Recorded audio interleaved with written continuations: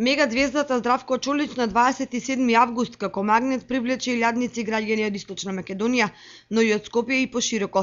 Во Берово, каде под покровителство на малешевецот Благој Механџиски Зегин одржа спектакуларен концерт.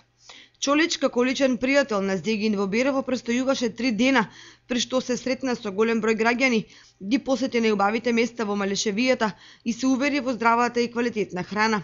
Како што самиот истакна, воодушевена од македонската Швајцарија, иако до пред неколку дена не знаел дека постои вакво нешто на Балканот. Ја, па наравно, како ви весте га било, син Веровски, не знам. Јас сум воодушевен од убавините и чистиот воздух овде во Берово. Берово го има најголемото богатство, а тоа е природата и чистиот воздух.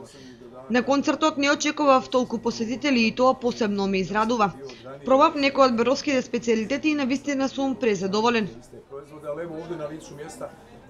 Во центарот на Берово Зеген ја отвори првата продавница за здрава храна, која е дел од синџирот на продавници во повеќе градови во Македонија, меѓу кои наскоро и во Кочани. На отворањето присуствуваа министерот за одбрана Јолевски, градоначалникот Наджински, собственикот Благо Механџиски и гостинот Чолич вака голем одзив што го направивте и воедно им порачаме на нашите сограѓани од и нашите граѓани на Република Македонија дека Зеги со отварането на ова продавница, фактично веќе имаме едно седумосно отворени, отвараме еден нов систем на снабдување со репроматеријали, односно продукти, финални готови производи. Тоа е кооперантскиот систем кој го споведуваме, тоа е системна во Швајцарија. Што значи тоа?